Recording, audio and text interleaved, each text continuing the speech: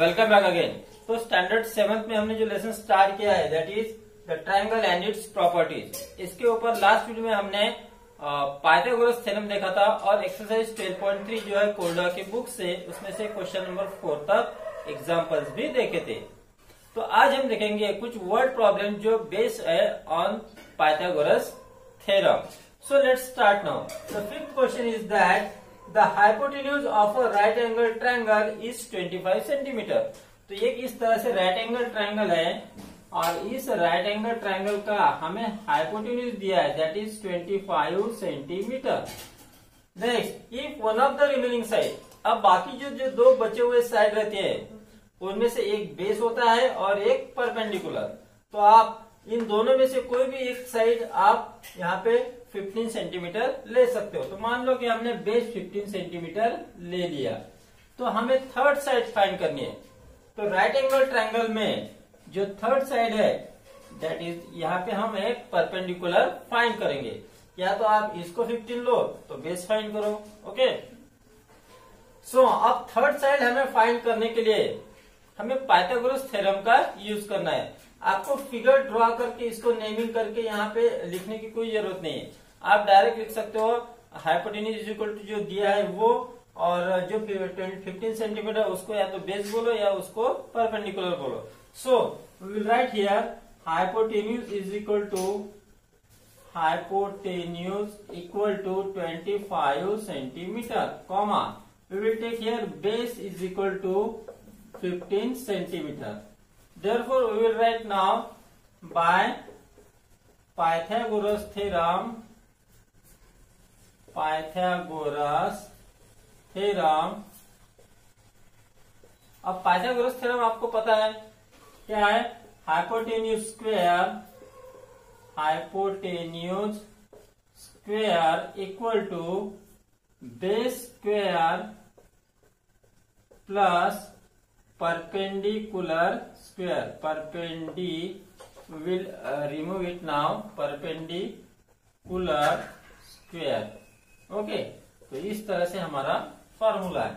सो so, अब इसमें variable लिखो रहा है। Hypotenuse 25 so 25 square equal to base is 15 square plus will write perpendicular square as it is perpendicular square as it is it now square of 25 is 625 equal to यहाँ पे 15 का square है fifteen का square two twenty five okay और नहीं तो आप यहाँ पे साइड में आप इसका स्क्वेयर करके देख सकते हो 15 multiply fifteen five seventy five five carry seven fifteen one fifteen और seven twenty two so two twenty five plus यहाँ लिखेंगे हम परपेंडिकुलर स्क्वेयर अब आपको हमें तो थर्ड साइड यानी परपेंडिकुलर फाइंड करना है। तो हमें यहाँ पे स्क्वेयर्स को हटाना है।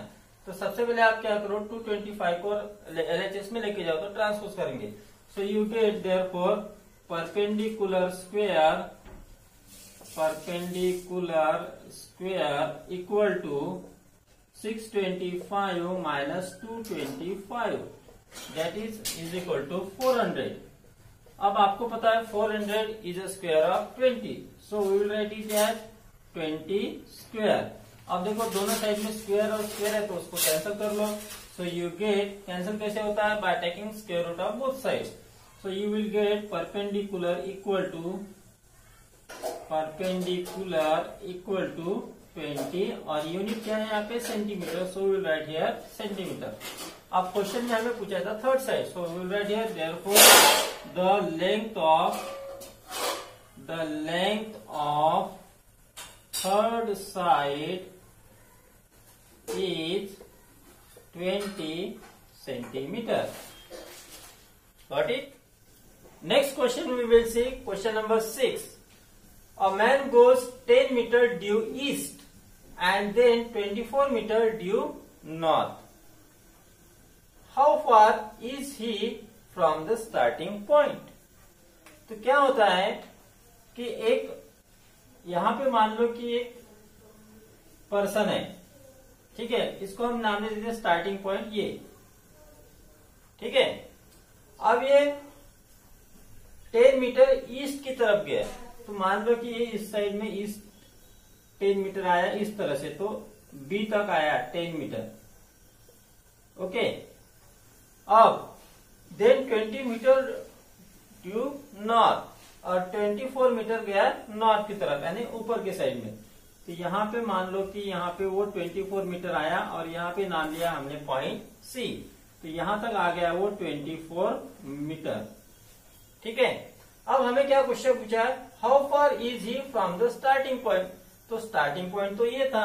Okay so this is a starting point और फिर वो गया नॉर्थ की तरफ़। फिर वहाँ ईस्ट की तरफ़ और वहाँ से गया नॉर्थ की तरफ़ अब हमें पूछा है कि स्टार्टिंग पॉइंट से वो अभी कितने दूरी पर है? तो ये फाइंड करना है, यानी हमें इस तरह से, इस डिस्टेंस को एक तरह से फाइंड करना है। अब इसको किस तरह से फाइंड कर सकते हैं हम? उसको अभी देखेंगे। ठीक है? तो इसको फाइंड करने के लिए अब आप देखो कि यहाँ से यहाँ तक आया, फिर यहाँ से इस तरह मुड़ गया तो यहाँ पे बन गया राइट एंगल ओके तो हमें अगर ये फाइंड करना मीन्स हमें इसका हाइपोटेन्यूस फाइंड करना है। ठीक है? सो इसको सॉल्व करने के लिए हम यहाँ पे लिखेंगे let A B let A B starting point ठीक है? अब क्वेश्चन में हमें जिस तरह से पूछा है तो उस तरह से हमने यहाँ पे डिस्टेंस शो किया है। So A B equal to ten metre and B C equal to दिया है ट्वेंटी फोर मीटर और हमें फाइंड करना है A C so write here A C equal to question mark अब ये जो ट्राइंगल है this is a right angle triangle so right here in triangle A B C which angle is 90 degree angle B equal to 90 degree और यहाँ पे हमें hypotenuse find करने के लिए पाइथागोरस थ्योरम को यूज़ करना है। So will write here therefore by Pythagoras theorem Pythagoras theorem we will get here, अब हाइपोटेन्यूज स्क्वायर हाइपोटेन्यूज कौन है? एसी तो लिखेंगे हम AC square equal to base square base कितना है? Ten metre so will write here A B square plus perpendicular plus और perpendicular कौन है? BC so will write here BC square now we will put values A B is 10 so, we get 10 square and BC is 24 so, we will write here 24 square. Square of 10 is 100 and square of 24 आप यहाँ पे side में इस तरह से find out करेंगे। So 4 4 जा 16 जा 6 carry 1 4 2 जा 8 plus 1 9 2 4 जा 8 2 2 जा 4 7 और here 5 76 अब दोनों को ऐड करो, so you will get here 676 अब हमें तो सिर्फ़ एसी की वैल्यू फाइंड करनी है। यहाँ से स्क्वायर हटाना है। तो स्क्वायर हटाने के लिए आप देखो 676 किसका स्क्वायर है? तो उसके लिए हम क्या करते हैं, यहाँ साइड में इसका स्क्वायर रूट फाइंड करेंगे। उसके लिए ये मेथड है 676 लिखा। राइट टू लेफ़्ट आपको दो दो डिजिट के ग्रुप बनाने हैं तो फ़र्स्ट डिजिट इज़ ऑफ़ 76 अब दूसरा तो दो डिजिट का बनता नहीं तो एक ही डिजिट का लेंगे। ठीक है? अब आपको देखना है कि ये जो सिक्स है, पहला ग्रुप वो किसका स्क्वेयर है, या किसके स्क्वायर के नज़दीक है? तो अगर आप टू का स्क्वायर करते हो तो फोर आता है थ्री का स्क्वेयर करते हो तो नाइन आता है। तो थ्री का स्क्वायर तो नहीं ले सकते, हम लेंगे टू का स्क्वायर। इसलिए यहाँ पे लिखा हमने टू और टू यहाँ पर भी लिखेंगे सो टू टू जा फोर। अब ये जो टू है, ये इसमें आपको ऐड करना है so will write here plus two. इस तरह से। अब टू और टू हो गए फोर आपको थोड़ा जगह छोड़ के यहाँ पे लिखना है। तो सिक्स माइनस फोर हो गए टू, और यहाँ पे ये पेयर ले ली seventy six as it is अब आपको क्या करना है कि फोर के सामने ऐसी नंबर लिखो, जिसको उसी से मल्टीप्लाई करने के बाद हमें टू हंड्रेड सेवेंटी सिक्स मिलना चाहिए। तो उसके लिए आप यहाँ पे देखो यूनिट प्लेस में सिक्स है। तो फोर इंटू फोर अगर करोगे तो सिक्सटीन में सिक्स आता है। ठीक है? या सिक्स इंटू सिक्स करोगे तो थर्टी सिक्स में भी सिक्स आता है। मतलब यहाँ पे या तो हम फोर ले सकते हैं, या फिर सिक्स ले सकते हैं। तो पहले फोर लेते हैं। तो फोर लिया, यहाँ पे फोर लेंगे। फोर फोर जा सिक्सटीन जा six carry one. Four four जा सिक्सटीन प्लस वन हो गया सेवनटीन। तो 117 ये बहुत ही स्मॉल नंबर हो जाएगी। तो हम उसके लिए अब यहाँ पे क्या करते हैं, लेते हैं सिक्स लेते हैं। यहाँ पर भी सिक्स लेंगे। तो चलो सिक्स सिक्स जा थर्टी सिक्स जा six carry three. Six four जा ट्वेंटी फोर और थ्री हो गए ट्वेंटी सेवन। तो यहाँ पे नंबर आ गए फिर सिक्स। तो यहाँ पे लिया सिक्स। और यहाँ पर भी हमें सिक्स लेना है और ये आंसर जो आ गया टू सेवेंटी सिक्स यहाँ पर लिख लेंगे। अब ये जो सिक्स है, ये इसमें आपको ऐड करना है। So will write here six अब प्रोसेस यहाँ पे कंप्लीट हो गई। Six six twelve two carry one और यहाँ पे हो गया फाइव अब ये जो नंबर आती है ये ये जो आंसर आए, इस यहाँ पे ट्वेंटी सिक्स का डबल है। ऐसा अगर आया डबल तो आपका जो आंसर है दैट इज़ करेक्ट सो यहाँ पर हम लिखेंगे six hundred twenty seventy six is square of twenty six अब देखो, दोनों साइड में स्क्वायर है, उसको रिमूव करेंगे you will get A C equal to twenty six अब हमें लिखना है लास्ट आंसर अब क्वेश्चन क्या पूछा था? How far is from the starting point so we write here therefore he is 26 metre from the starting point तो इस तरह से ये एग्ज़ाम्पल है। What it now we will see question number nine two poles of height nine metre and fourteen metre stand upright on a plane ground अब मान लो कि ये एक प्लेन ग्राउंड है। ठीक है? This is a plane ground अब इस प्लेन ग्राउंड पे दो पोल है। यू नो इलेक्ट्रिक पोल है। Okay two poles are stand upright ऐसे खड़े हैं। तो यहाँ पर एक लेते हैं हम एक, इस तरह से ये एक हो गया पोल अब इस पोल को नाम दे देते हैं हम ए बी और इसको लेंथ है फोर्टीन कितना है? फॉर इफ़ द फ़र्स्ट है नाइन मीटर दूसरा है फोर्टीन मीटर तो इसको ले लेते हैं फोर्टीन मीटर और दूसरा पोल यहाँ पर इस तरह से ले लेते हैं। और ये हो गया नाम इसका सी डी और इसको ये हो गया लेंथ नाइन मीटर था। तो इस तरह से दो पोल अपराइट स्टैंडिंग है। If the distance between their feet is 12 meter so this is a feet, okay? अब ये दोनों पोल का जो डिस्टेंस है दैट इज़ 12 मीटर अब क्वेश्चन क्या है? Find the distance between their top तो this is a top of this two poles तो we have to find the distance between this two poles तो टॉप का डिस्टेंस हमें इस तरह से ये वाला फाइंड करना है। अब ये किस तरह से फाइंड करना है, उसको भी देख लेते हैं। अब ये जो दो पोल है सी डी और ए बी ये दोनों पोल पैरेलल है। ठीक है? तो आपको क्या करना है कि ये पॉइंट मतलब इस टॉप से, इस पोल के ऊपर अगर हम यहाँ पे इस तरह से परपेंडिकुलर ड्रॉ करेंगे। Okay then we will get here a triangle and this triangle is right angle triangle क्योंकि यहाँ से ये परपेंडिकुलर हमने ड्रॉ किया। इसको नाम दे देते हैं हम ई ओके तो CE is perpendicular on A B अब आपको अगर ए ई e मिल गई और सीई e मिल गई तो आप ए सी को फाइंड कर सकते हो। अगर आप गौर से देखो तो ये जो है बी डी सी ई ये जो क्वाड्रिलेटरल है, ये क्वाड्रिलेटरल कौन से टाइप का क्वाड्रिलेटरल बन जाएगा? तो ये बन जाएगा रेक्टेंगल ओके तो ये जो 40 मीटर है, ये तो 40 मीटर यहाँ से यहाँ तक का डिस्टेंस है ओके और आप अगर देखोगे तो C D will be equal to BE ठीक है? तो सी डी अगर 9 मीटर है तो बीई भी 9 मीटर रहेंगी। तो ये 14 में से 9 को अगर माइनस कर दो तो आपको एई मिल जाएँगी जो रहेगी 5 मीटर और B D will be equal to CE तो ये 12 है तो ये भी 12 रहेंगी। अब ये ट्वेल्व है और ये फाइव है तो आपको ए सी आसानी से मिल जाएँगी। अब इसको लिखना कैसे है? तो first we will write A B and C D are two poles okay so will write here A B and C D are two poles जो भी हम डायग्राम निकालते हैं, उसकी हमें यहाँ पे इंफॉर्मेशन देनी होती है।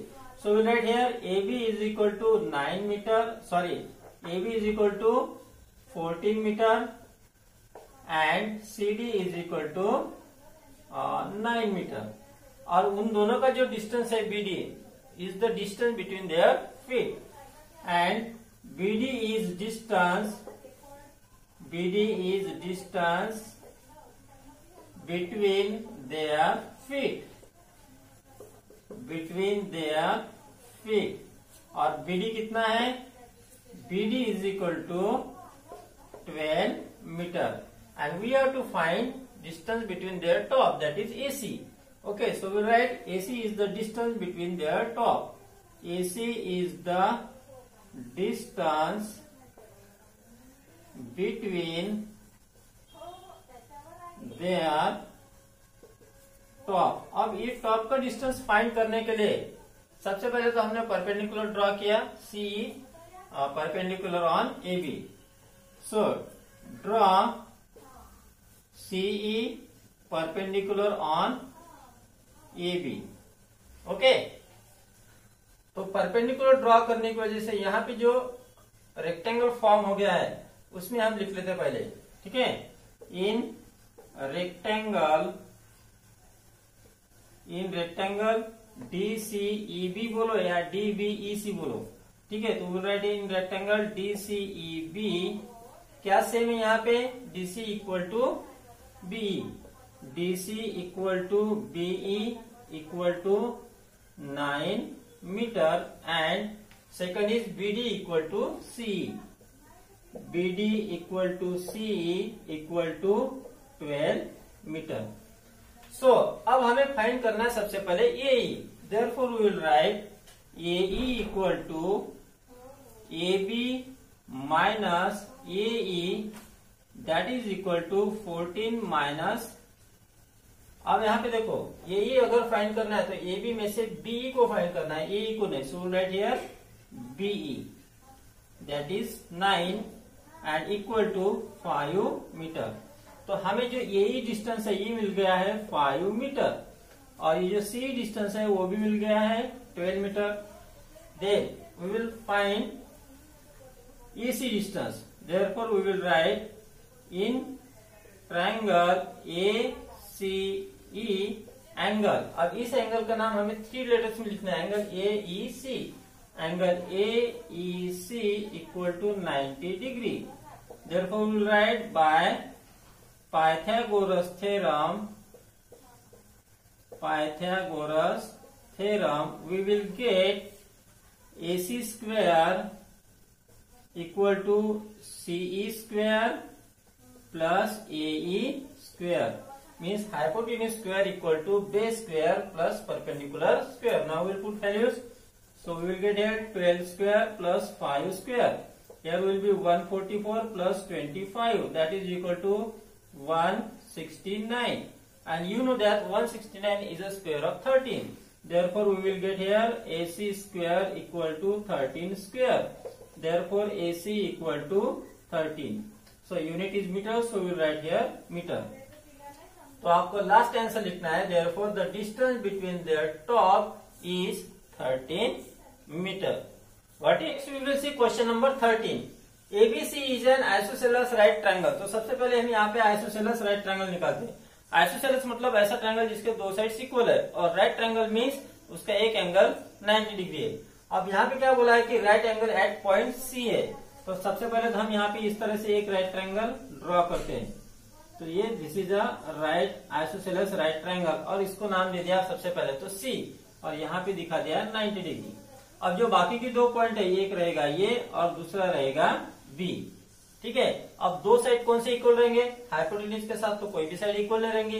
It mean that A C और बीसी इज़ सेम तो क्वेश्चन इज़ दैट हमें प्रूव करना है A B square equal to twice A C square तो राइट एंगल ट्रायंगल है तो सबसे पहले तो हम प्रूव करेंगे आ, मतलब यूज़ करेंगे पाइथागोरस थ्योरम का. So will write here okay तो सॉल्यूशन लिखो या प्रूफ लिखो. So in triangle in triangle A B C angle C equal to 90 degree and A C equal to B C okay अब therefore we will write by Pythagoras theorem by Pythagoras theorem we will get Pythagoras theorem क्या है? Hypotenuse square equal to base square plus perpendicular square hypotenuse है A B so we write here directly A B square plus sorry A B square equal to B C square plus A C square अब, यहाँ पे आप देखो BC और AC दोनों same है। या तो आप बीसी की जगह एसी लिखो या एसी की जगह बीसी लिखो। लेकिन आपको जो प्रूव करना है, उसमें एसी दिया है तो हम लिखेंगे बीसी की जगह A C so A C square plus A C square अब इसका आप रीजन लिख सकते हो। B C equal to A C that is equal to one A C square और one A C square that equal to two A C square अब हमें जो प्रूव करना था, वो प्रूव हो गया। So write hence A B square equal to two A C square prove तो इस तरह से ये प्रूव हो गया। Now we will see one hot question hot question में question number three number one triangle A B C is an equilateral triangle तो एक ट्रायंगल सबसे पहले हम ड्रॉ कर लेते हैं जो है इक्विलेटरल ट्रायंगल तो इस तरह से ये है गया इक्विलेटरल ट्रायंगल यानी जिसके all sides are of same length तो this this and this all sides are same from ये तो इसको नाम दे देते हम ए बी एंड सी तो from vertex A an altitude A D is drawn तो वर्टेक्स ए से जब एल्टीट्यूड ड्रॉ करेंगे तो उसके ऑपोजिट साइड जो है बीसी उसके ऊपर एल्टीट्यूड आएगा. So will draw here altitude in this way and here will be right angle and will take here point D so A D is altitude on side B C find the measure of angle B A D तो B A और D तो इस angle का हमें measure find करना है। तो वो कैसे फाइंड करना है? चलो देखते हैं। So will write here in triangle A B C अब triangle A B C equal triangle है तो तीनों साइड सेम रहेंगी। Therefore we can write A B equal to B C equal to A C जब तीनों side same होते हैं मतलब इक्विलेटर ट्रायंगल में तीनों साइड सेम है तो उसके तीनों एंगल्स भी सेम रहेंगे। और हर एक एंगल का मेजर होता है 60 degree so write here therefore angle A equal to angle B equal to angle C equal to हो गया 60 degree each angle is 60 degree अब, यहाँ पे आप गौर से देखो, ये जो एडी है परपेंडिकुलर बीसी है। So write here A D perpendicular B C तो ये जो एंगल हो गया this angle is of 90 degree क्योंकि हम पहले इस ट्रायंगल का लेंगे, क्योंकि हमें ये एंगल फाइंड करना और ये एंगल आता है इस ट्रायंगल में एबीडी में। तो हमें चाहिए ये वाला angle so will write here angle A D B equal to 90 degree अब, आपको पता है angle sum property of triangle जिसमें तीन एंगल की एडिशन होती है 90 degree so write here in triangle अब इस ट्रायंगल का नाम है A B D in triangle A B D find angle sum property of triangle. Angle sum property of triangle, we will get sum of three angles. तो sum of three angles में पहला तो angle ये हो गया और इसका और इसका नाम लेते समय आपको थ्री लेटर्स में लिखना है। So will write here angle B plus इसका नाम थ्री लेटर्स में है B A D angle B A D plus इसका नाम है एंगल ए डी बी या फिर लिखो B D A so we write here angle A D B equal to हो गया 180 डिग्री अब इसमें वैल्यू पुटअप करो.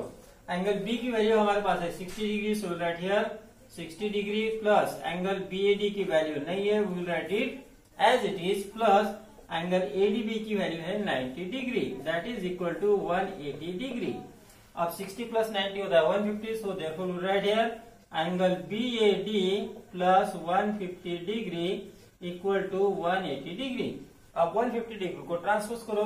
Therefore you will get angle B BAD equal to one eighty degree minus 150 degree that is equal to 30 degree तो हमें जो angle पूछा था angle B BAD that will be 30 degree what it